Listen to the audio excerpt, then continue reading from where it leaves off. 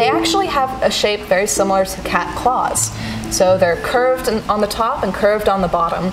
But different from cat claws, they actually have a U-shaped uh, channel on the very bottom of the spine.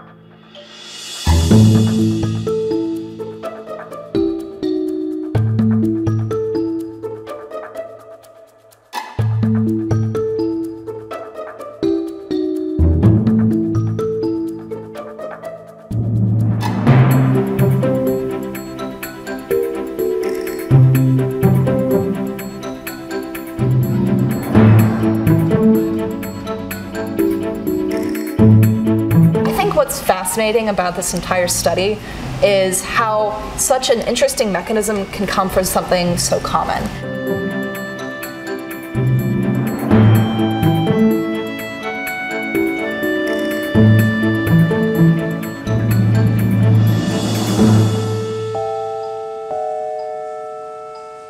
So we created a tongue-inspired hairbrush to look at if we could mimic the way that the cat grooms its fur to show that fluid can be distributed down to the roots of the hairs.